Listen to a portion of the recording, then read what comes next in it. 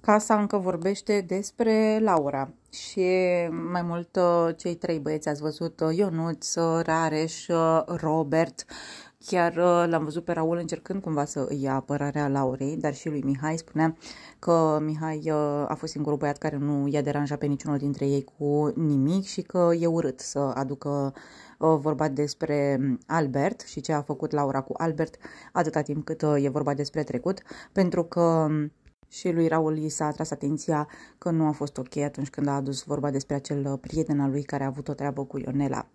sau despre ce a făcut Izabel la cealaltă emisiune. În live am văzut că primul care a luat cuvântul a fost uh, Mihai, uh, chiar spunându-i acest lucru lui Robert,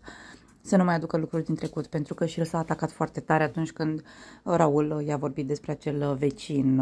al Ionelei și prieten al lui. Laura, pe de altă parte, spunea că îl suspectează pe Robert, că este ispită pentru că nu avea cum să uite că iubita lui a fost uh, scoasă din acea listă de suspecți.